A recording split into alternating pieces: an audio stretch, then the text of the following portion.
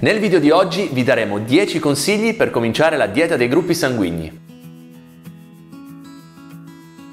Se siete nuovi, questa guida è perfetta per voi. Se invece la seguite già da tempo, sarà utile per rispolverare alcuni concetti. Prima cosa, bisogna sapere il proprio gruppo sanguigno. Spesso viene riportato nella scheda medica, altrimenti puoi fare il test del gruppo sanguigno in una farmacia oppure in una clinica privata. Una volta scoperto il vostro gruppo sanguigno, potete cominciare ad informarvi su quali sono gli alimenti compatibili con appunto il proprio gruppo sanguigno. In questa dieta gli alimenti vengono suddivisi in categorie. Ci sono gli alimenti benefici, neutri e sconsigliati. Tutte queste informazioni potete trovarle nei libri ufficiali della dieta del gruppo sanguigno. Nella descrizione sotto il video potete trovare tutti i link utili sia per i libri che per i video che saranno molto utili alla vostra ricerca. Nonostante gli alimenti siano divisi in categorie, ci sono alcuni alimenti in comune a tutti i gruppi sanguigni che vanno eliminati. Questi alimenti sono il glutine, il latte e i derivati e la carne di maiale. Se eliminate questi alimenti non significa che non avete nulla da mangiare, non impanicatevi, perché introdurrete tantissimi alimenti nuovi, ad esempio legumi che magari non avete mai considerato prima,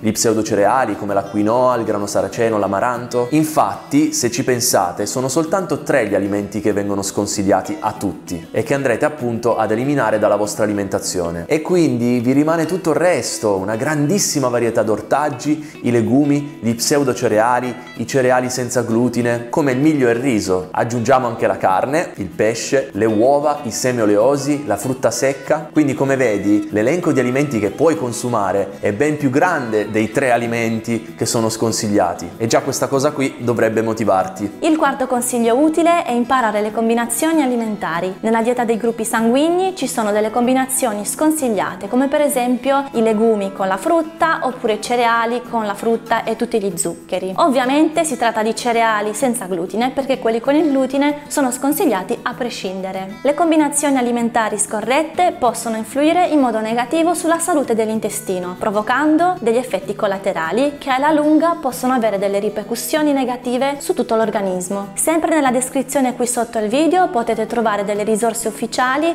dove vi verrà spiegato l'argomento nel dettaglio. Il prossimo step da fare è quello di scegliere alimenti semplici e facilmente reperibili, in modo da facilitare la transizione. Non è assolutamente necessario cercare la farina più strana e introvabile trovabile per cominciare questo stile di alimentazione, ma soprattutto non cadete nella trappola di dover svuotare il vostro portafoglio per fare la spesa in modo diverso. Anzi, fare la spesa dovrebbe addirittura risultare più facile perché andrete a eliminare gli alimenti di cui non avete bisogno e andrete appunto a sostituirli con gli alimenti benefici. Le verdure, i legumi, le uova, i semi oleosi, i cereali senza glutine non hanno costi molto elevati. Stessa cosa per il grano saraceno. Inoltre sono alimenti che facilmente ora si trovano nei supermercati. Se avete la possibilità di fare la spesa al mercato, poi potete anche risparmiare. Nella descrizione qui sotto troverete un nostro video dedicato appunto alla spesa fatta al mercato. Mi raccomando, andate a vederlo. Create un menu settimanale semplice con i pasti principali della giornata. In questo modo sarete meno persi e più motivati nel continuare perché avrete tutto già programmato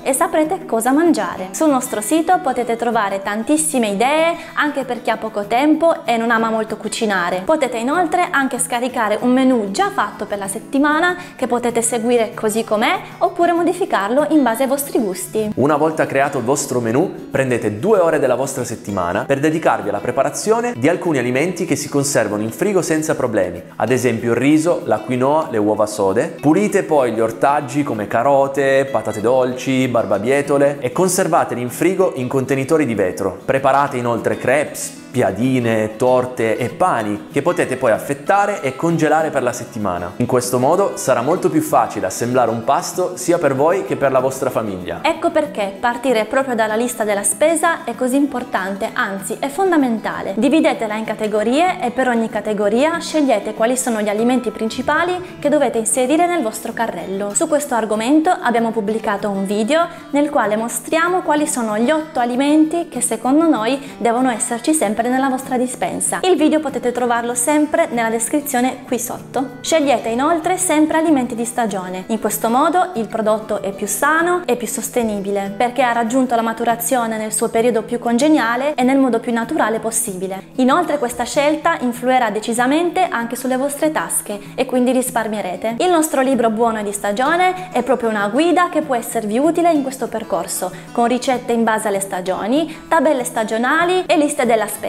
Scegliete ricette semplici e con pochi ingredienti. È inutile complicarsi la vita scegliendo ricette piene di ingredienti introvabili e carissimi, soprattutto se siete alle prime armi. Ciò non farà altro che confondervi e complicarvi il processo di un'alimentazione che di per sé si basa su alimenti semplici e reperibili per tutti. Sul nostro sito e sui nostri libri potete trovare una grandissima raccolta di ricette per le persone anche che non hanno molta voglia o tempo da passare in cucina. Date un'occhiata qui sotto nella descrizione. Ricordate sempre che cambiare alimentazione è un investimento a lungo termine, non è soltanto una dieta temporanea. Va fatto con una mentalità aperta e con la volontà di prendersi cura del proprio corpo. Se sentite il desiderio di cambiare ma vi manca la motivazione personale oppure sono altre persone esterne a demotivarvi, la migliore soluzione è chiedere aiuto e consigli. Ci sono tantissime persone come voi voi che sono pronti a sostenervi e motivarvi. Potete iscrivervi al nostro gruppo Facebook nel quale una comunità di oltre 20.000 persone si confrontano ogni giorno condividendo consigli e ricette. Bene, speriamo che questi consigli vi siano stati utili. Se sì, fatecelo sapere nei commenti e condividete con noi la vostra esperienza perché può sempre essere utile a chi è nuovo. Per oggi è tutto, ci vediamo nel prossimo video.